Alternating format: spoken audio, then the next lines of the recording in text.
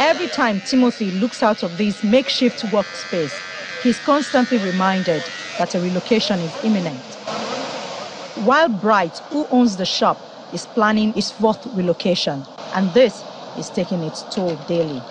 It's affecting me like seriously because all my customers before they have moved away from this area. Some people have some people have left Lagos because of this water. Erosion in Okun-Alfa and other neighboring coastal communities along Lekki Epe Expressway in Lagos is not news. Unfortunately, a former president's visit has not solved the problem. Instead, every year, residents have seen large portions of their lands washed away by the ocean. The ocean is an extremely powerful force, and it's ready to break through the barrier that has been there for centuries, which is the beachhead.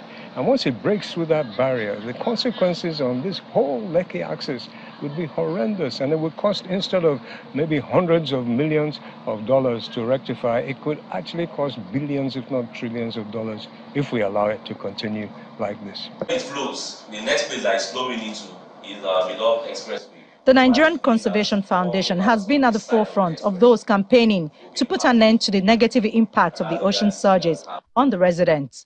This has resulted in a visit by the senator representing the area.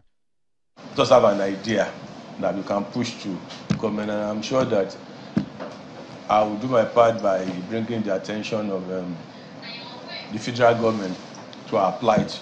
And it's not peculiar to us, like we said, there are other areas but being the hometown of the current uh, president, they may want to, it's likely they want to do something around his um, hometown. For 82-year-old Dr. Adekola Akinleye, a retired civil servant, what happens after this visit is what counts.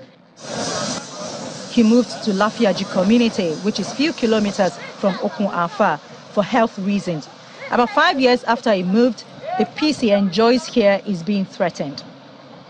The ocean is just a few yards from his home, and empty plots around him are now homes to many squatters. I went to the uh, Ministry of Waterfront and Infrastructure, okay, to complain. Apart from the bar beach, you know, nothing had been done within the last four, five years.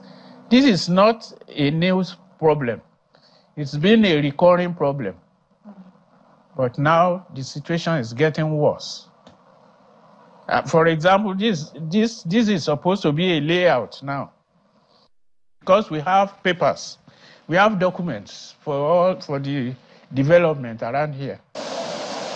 Today, people living in these coastal communities are living on a hope and a prayer.